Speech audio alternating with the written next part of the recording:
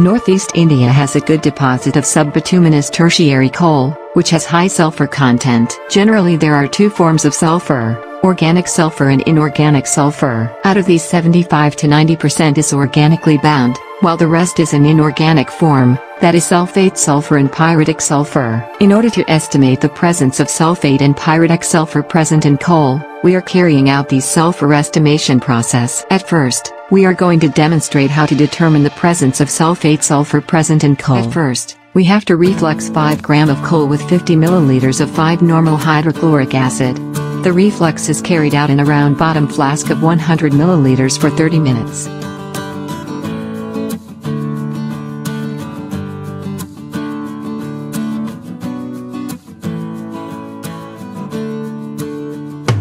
Then we filter the reflux coal sample. The filtrate part obtained here is used for the determination of sulfate sulfur.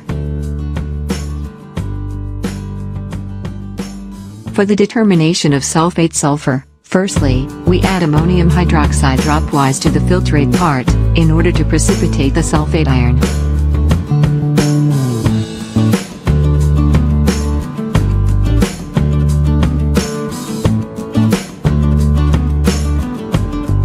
Solution, along with the precipitate, is again filtered through Whatman 41 filter paper.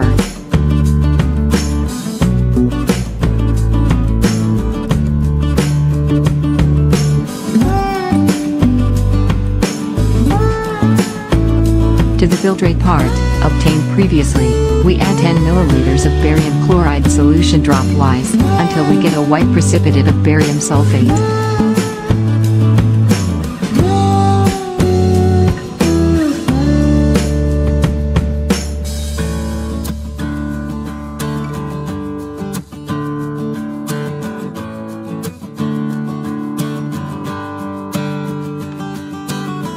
The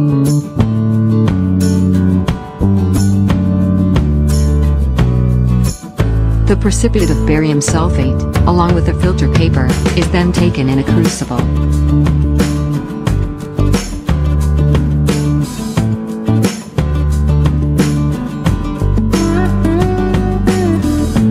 The crucible is then, finally heated in a furnace at 800 degrees Celsius for one hour.